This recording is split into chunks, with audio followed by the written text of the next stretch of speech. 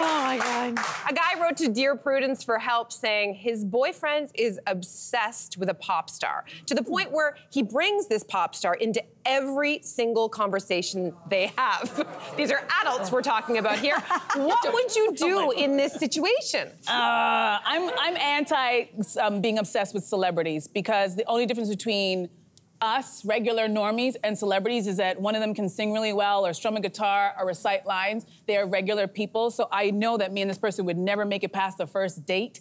If you are so obsessed with this other person because of what they Yeah. do, I think it's a very strange thing. It also feels a little juvenile to me. Yeah. Like there's an age for that. Like when I was Yeah. like- Wow. Yeah. If you have posters and stuff and this is all you talk about, this is not a person you know.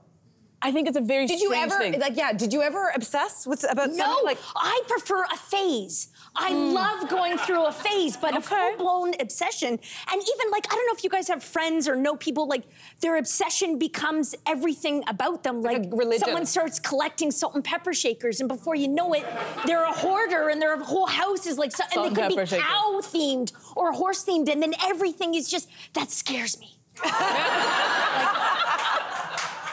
it's bringing you joy. I- I- But but it is if juvenile. it's bringing them joy, but if it's if it's affecting the relationship to the point where you can't get in the door because of all the so, salt and pepper, Pepper shakers, shakers. you know, like then that's like that's Yeah, I, I do think it's also really, really juvenile. And I do think mm. if you're putting that much attention on somebody else, what attention are you giving me? yeah, yeah that's interesting. Like, that's a lot of energy and a lot of money. Yeah.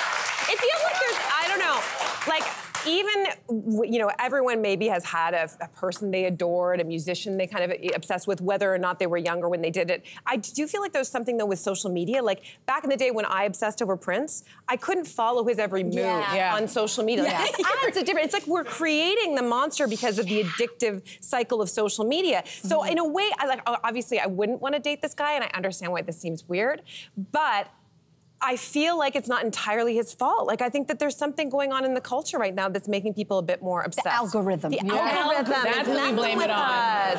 Right? Yeah. The algorithm. Yeah. I mean, except for Swifties, because just you keep doing you. See?